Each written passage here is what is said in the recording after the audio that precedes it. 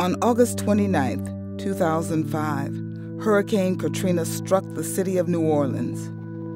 The storm and ensuing flood affected every direct support professional in New Orleans and all of the people with disabilities who received their services. We had staff take folks with disabilities with them and their families. And these were entry level staff. They took it upon themselves to take care of people in the darkest hours. And it was in the darkest hour for them, yet there they were helping others. And I will never, ever, ever forget that. The people with disabilities supported by Volunteers of America made it out of the city safely, but not everyone was as fortunate. An estimated 90,000 people were still in New Orleans when the hurricane made landfall. I've seen a lot of stuff on TV about why didn't folks just go? How did they end up at the Superdome or the convention center? Well, you end up there because you don't have a car. You don't have a car because you don't make enough money to make ends meet. Or you don't have a car that will drive, you know, eight or ten hours to get away from the city or sit in traffic for eight or ten hours on the interstate in gridlock when you're supposed to be leaving to higher ground. As with previous evacuations, people thought they would be returning home after three days. But this was not the case. That Monday morning when we got up, started watching TV, and I mean, to our surprise, well, we were shocked when we saw that, you know, there was no more in New Orleans. Supporting people during the ongoing evacuation, as well as supporting family members, created new financial burdens for DSPs. Many used personal credit cards and spent their savings taking care of the people they supported.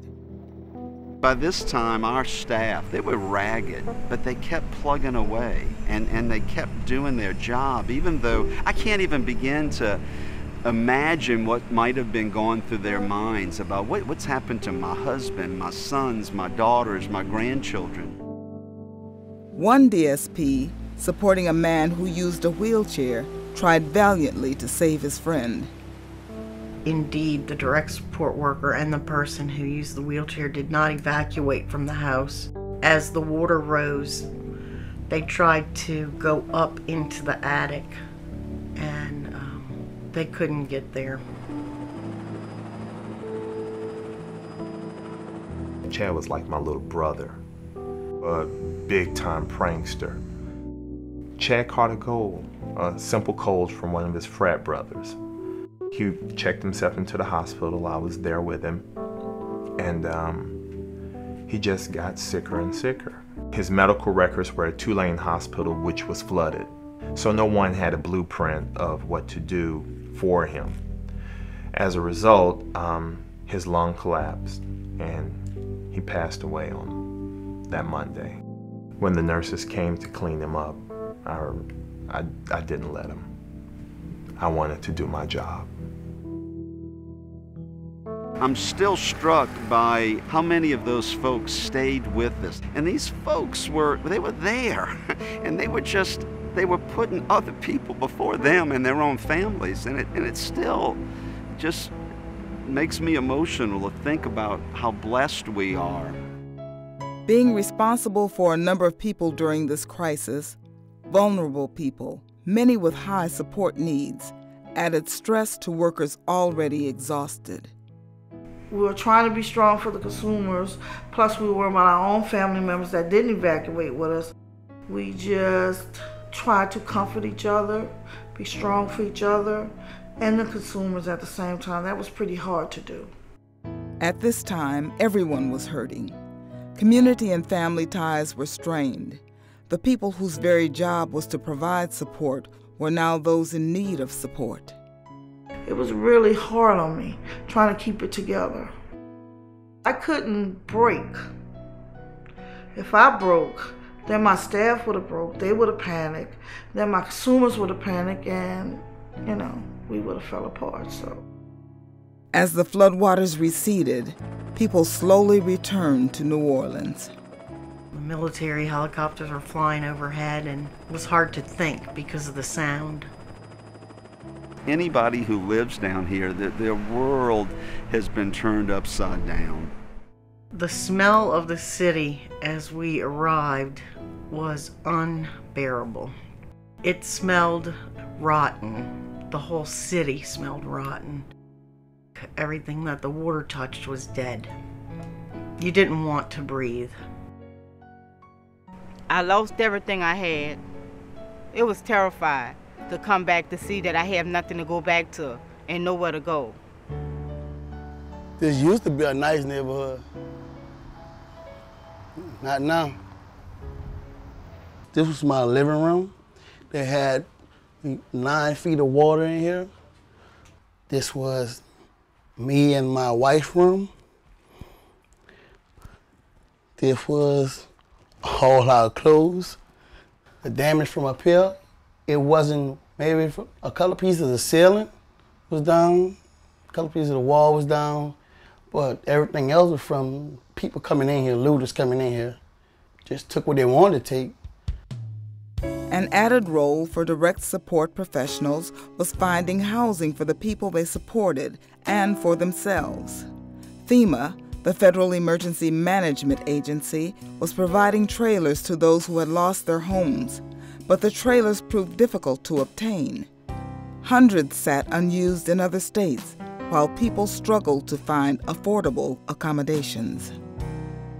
I wanted to come back to the job, but I didn't have anywhere to stay because the rent was $2,800 for a two bedroom house. So I started out sleeping in the parking lot in my car, trying to work and running back and forth to Texas trying to take care of my son with not enough money. Time and time when I think about it, it may be a little depressing.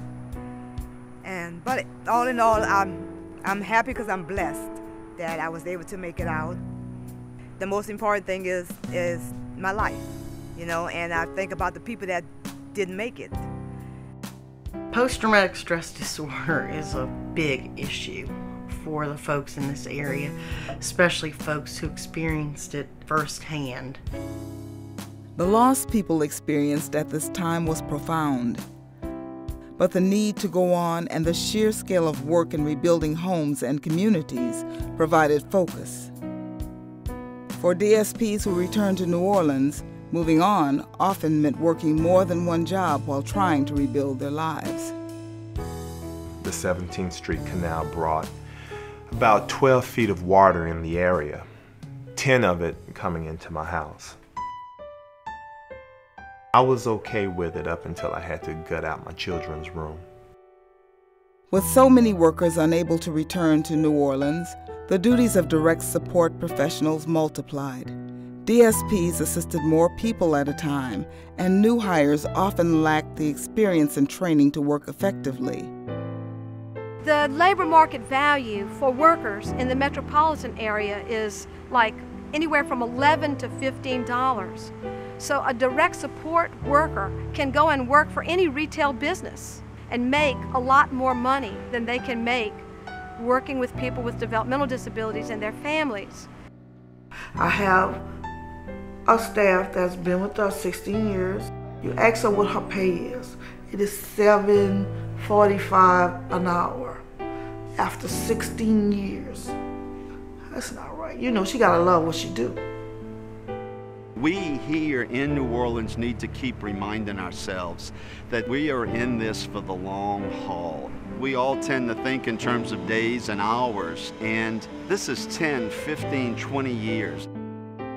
For the approximately 750,000 people working as direct support professionals nationally, the pay is extremely low, especially when considering the high level of skill and responsibility required. There is a career path for DSPs with opportunities for advancement, but such options are not available in all agencies and communities, and many DSPs enjoy the jobs they have. You know, some people say, well, you can't do better, you know, you should go back to school. Some people actually love what they do. This hurricane has made it abundantly clear to us, if it wasn't clear before, that direct support professionals have got to be recognized as the important part of the labor force that they are.